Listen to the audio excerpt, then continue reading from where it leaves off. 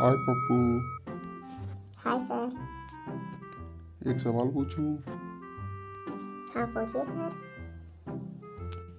एक टोकरी में दस आम थे तीन सड़ गए तो कितने बचे? दस।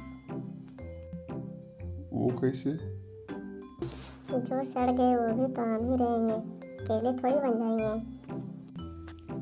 पप्पू वादा करो कभी सिगरेट और शराब नहीं पियोगे। नहीं पिएँगे कभी लड़कियों का पीछा नहीं करोगे।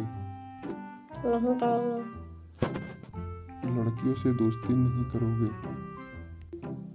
नहीं करेंगे। वतन के लिए जान दे दोगे। दे देंगे ऐसी ज़िंदगी का करेंगे भी क्या?